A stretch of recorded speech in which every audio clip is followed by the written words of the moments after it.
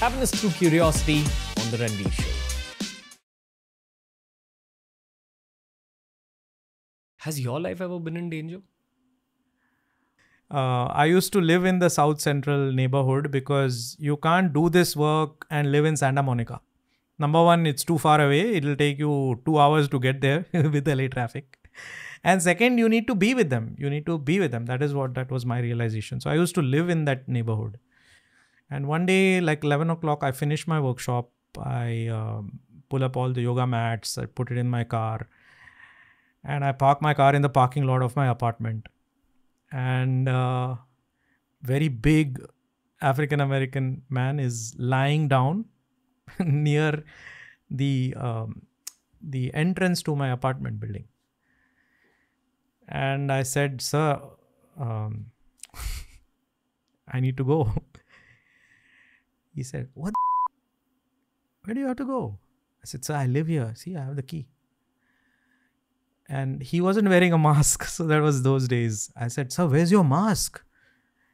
And he said, Bitch, where's your mask? And I didn't have a mask on. And he pulled up a, I thought it was a weapon. So I just backed off. It was a stone. and this was a six feet tall 300 pound person. And uh, i was that day i was a little like oh shit who did i provoke? And uh, he threw the rock at me but uh, he was drunk. He was a homeless guy he was drunk.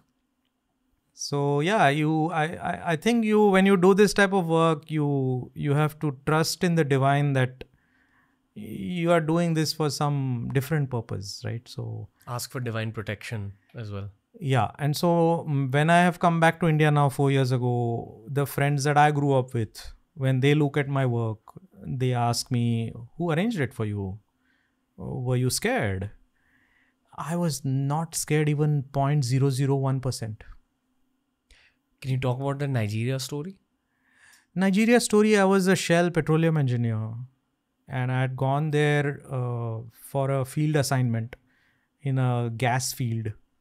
I was a production engineer, so I was looking at how do we increase the production of this gas. Um, we finished a long day of work, and uh, a mob of like 200, 300 people run with uh, I don't know swords and trees and I was with one person from Kuwait, Shell Kuwait. We just ran to our Jeep, scared to death, like shit. because I had never experienced this before. And I had not done anything against that community. I had just come to Nigeria two days before. So that was like close to feeling like I'm they are going to kill me. Why were they attacking the? Ah, good question. So then I researched uh, like what's happening. So it happened to be in the Niger Delta, and Shell doesn't have a good reputation in the Nigerian context. And uh, well, again, I'm not trying to defend Shell because I also have friends in Shell Nigeria.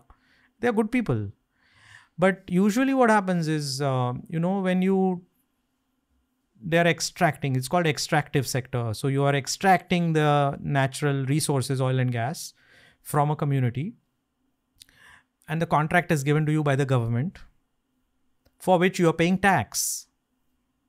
But the tax money may not reach the people who are in the villages because of whatever third world developing country world issues systemic issues corruption etc etc How was it like visiting Nigeria? Because I've heard all sorts of stories from a professional perspective, and I have Nigerian friends uh, who give me a very party-oriented version of it. it's a party place But that's subject to the fact that you go around with them. Like you need you need Nigerian friends to travel through Nigeria. Uh, actually, I was working for Shell, so I made several trips to Nigeria over my career. And uh, as soon as you land in Lagos airport, you are escorted by somebody in the Nigerian military. So uh, I have always gone with military protection. Okay. Because in those days, uh, oil executives were kidnapped for ransom. and uh, that's my ex- experience with my visits to nigeria is i'm seeing this country and uh, it feels like it's a social place it's poor place it felt like i was driving through dharavi if i can give you a like a similarity in what i was seeing and i'm taken to the compound a shell compound and uh, every shell staff that I was meeting, my colleagues, they were amazing human beings. They were educated, they were well read, uh, they had a respect for India.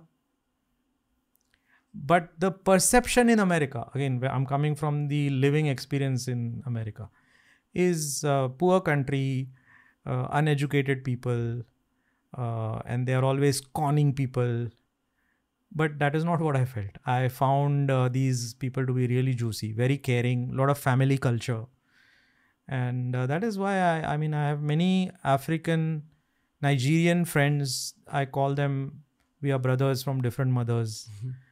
Because the values are the same yeah very similar to indian culture very similar very very similar very similar clothing social structure uh, celebration uh, and that is true for most of the African continent.